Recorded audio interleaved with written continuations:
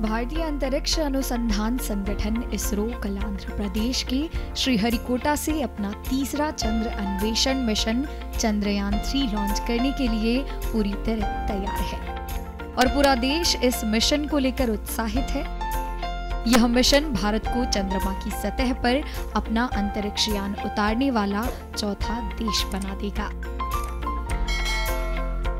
और चंद्रमा की सतह पर सुरक्षित और नरम लैंडिंग के लिए देश की क्षमताओं का प्रदर्शन करेगा। बहुत खुशी भी लग रहा है टेंशन भी है। कल तक हम लोग वेट करें तो भगवान का प्रार्थना है। हमारा जो टीम है, पूरा एफर्ट्स लगा है। इसरो का टीम भी बहुत एफर्ट्स लगा है। तो दो तीन साल से ये प्रोजेक्ट कर रहे हैं। सो भगवान का कृपा से ये प्रोजेक्ट सक्सेस होना चाहिए। सो इस दिस मैं थैंक्स टू यू यह उड़ीसा के लोगों के लिए भी खुशी और बड़े ही गर्व की बात होगी क्योंकि उड़ीसा ने भारत के तीसरे चंद्रमा मिशन में प्रमुख भूमिका निभाई है। चंद्रयान थ्री के अधिकांश प्रमुख घटकों का निर्माण भुवनेश्वर स्थित central tool room and training centre CTTC में किया गया है। ये जो प्रोजेक्ट जब सक्सेस हो जाता है तो विश्व में इंडिया के लिए तो नंबर वन पोजीशन में आ जाएगा। तो इसके लिए अभी तक कोई भी कंट्री भी ये पर्टिकुलर प्रोजेक्ट में सक्सेस नहीं हो पाया।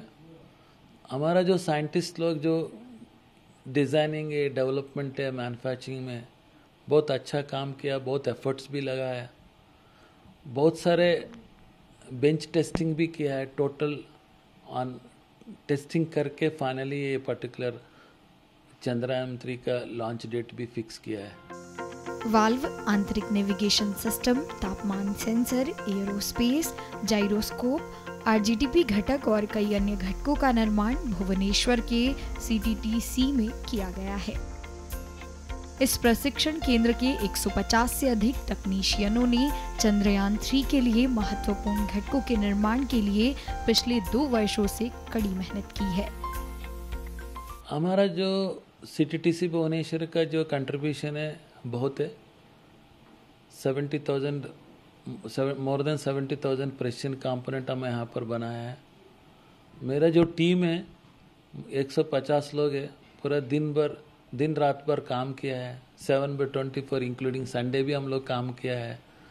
ये जो प्रोजेक्ट को कैसे भी सक्सेस करना है, जो चीज़ हम लोग सीखा है चंद्रायनम टू से, हम लोग हंड्रेड परसेंट ज़ीरो डिफेक्ट में कंपोनेंट इसरो को सप्लाई किया है।